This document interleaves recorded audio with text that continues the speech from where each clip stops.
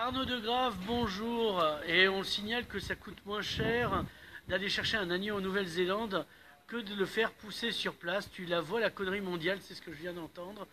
Euh, ça n'a rien à voir et pourtant, si Arnaud de Grave, photographe qu'on avait vu il y a deux ans au Baratin, d'une exposition sur les forêts, un type qui s'est jamais remis euh, de, la chanson des Cure, The Forest. Euh, et donc, Arnaud de Grave, cette fois, dans cet épisode-ci, est le président d'un collectif qui euh, promeut la photo argentique dans le cadre d'un magazine. C'est ça. Le collectif s'appelle, moi j'aime bien l'appeler association, parce que c'est une, association de 1900 et tout ce qui est plus ouais. standard. Ça s'appelle BOP, pour bricolage ondulatoire et particulier. Et effectivement, euh, la, grosse philosophie, si on peut appeler ça comme ça, derrière l'association, c'est de tenter de promouvoir et de se faire plaisir en faisant de la photographie, euh, je n'irai pas, pas jusqu'à dire à, l'ancienne, mais principalement et exclusivement dans le, terme de la, dans, le cadre de l'association euh, argentique. Alors, euh, est-ce que c'est pour c'est par snobisme l'argentique? Ou il y, y, a vraiment un intérêt particulier il y a un grain différent qu'on ne peut pas obtenir en numérique Nous, on aime bien l'argentique, ça va pas beaucoup plus loin. Voilà. pas d'attitude prosélite qui irait, de, qui, irait à dire l'argentique c'est mieux que le numérique. Tu feras pas argentique Akbar Non, non, non, je, ne tuerai personne avec mon appareil photo argentique. Euh, il se trouve qu'on aime bien euh, la façon de travailler en argentique, on aime bien les appareils photo argentiques, on aime bien aller en laboratoire pour tirer, nos photos, sentir la chimie. Euh. il y a toujours une plus grosse diversité de possibilités de formats en argentique qu'en numérique, avec des budgets un peu moindres. Ouais, dans l'ensemble, on sait juste qu'on aime ça, on aime travailler de cette façon-là. Et encore une fois, on n'a aucune démarche prosélite par rapport à ça. Alors, vous avez une bande de combien de jeunes? Ah bah De jeunes, on n'en a qu'un, les jeunes. C'est une jeune d'ailleurs. Oui, euh, mais on est neuf en tout. Ouais. Euh, six membres actifs dans, un groupe qui a débuté en 2004. On était deux. Ouais. Mon camarade Barthélémy et moi-même.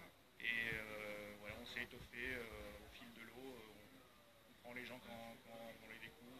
Certains sont nos potes, d'autres personnes sont des gens qu'on a rencontrés au fil de l'eau dans le milieu de la photographie. On n'a pas vraiment de, politique affichée ou stricte à ce niveau-là. Alors, tout ça s'incarne dans un magazine? Alors, au début, on avait un site internet dans lequel on présentait nos travaux, mais bon, montrer les photos argentiques sur internet en numérique, c'est un petit peu, oui. un peu la gueule. Donc, on a assez rapidement essayé de faire des expositions collectives, puis on a édité une espèce de petite rétrospective, un livre qui montrait ce qu'on avait fait pendant 5 ans. Mmh. Et puis à un moment, on a eu cette idée un peu folle de se dire tiens, si on faisait un magazine C'est moi qui ai eu cette idée un peu folle. Et depuis, on a réalisé trois qui sortent un peu quand on peut les faire. Hein, oui, parce que ça a un coût. Voilà, principalement quand on arrive à les financer. Quoi. Ouais, voilà. on a financé le premier à nos frais. Et puis quand on a réussi à vendre suffisamment du premier, on a fait le deuxième, etc.